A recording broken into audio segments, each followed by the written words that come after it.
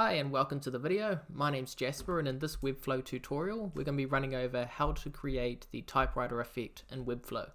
So to get started we're going to need two things. We're going to need a Webflow and we're also going to need typer.js which is free and easy to find. I'll link it in the description. Now if we jump back we've got our simple heading here. As you can see nothing really done with it yet just in a div block and a simple heading. So let's just go hi I'm uh, Webflow developer.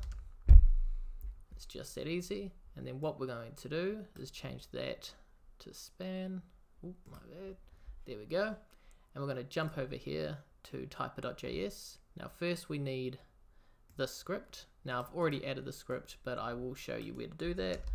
So let's copy the script. We'll jump over to the page, scroll down, and you'll see it here in the before body tag. You just got to paste it in there and hit save. And then once you've got that, what we're going to do is create the class. So you'll see here it says span class. So you must have this. So let's turn it into typer. And then we're going to need to add some attributes. So we've got data delay. So let's copy that. Go over here. Get rid of that make it 150 I believe it was. Let's double check. So yeah it says 150 and then we need the words. So these are the words that will actually get typed out. So we're going to add those as well. And for the words we'll go with designer expert and developer again because you will need your starting word in there. And then it's you can also do the uh, data colors but we're not going to do that today and you're going to need a second span as well. Now this is going to be here. So let's add another span. There we go. And that's going to need a class as well and an ID. So the class will be cursor. Didn't do that right, did I? Cursor, yes.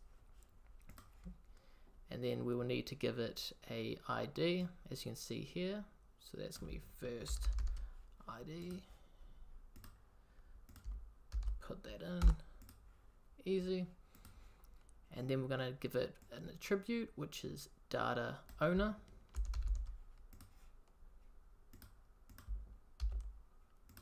And the value is first typer. So let's grab that. Great, and that should be everything. So let's publish that so we can check it. This won't work in preview. You have to publish the website to either the test Webflow domain or your actual custom, custom domain.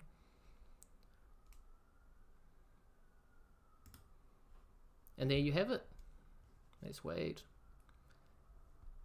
It's just that easy. So really quick to do and everything's free. So I'll link this in the description. And yeah, it's a simple, easy way to create the typewriter effect. Thanks for watching this video. Don't forget to uh, subscribe and like the comment. It does, I'm sorry, like the video. It does help a lot. Um, and if you like the content, you know, feel free to let me know any other sort of tutorials you'd like me to cover. I'm always looking for new ideas. Thanks for watching and see you in the next one.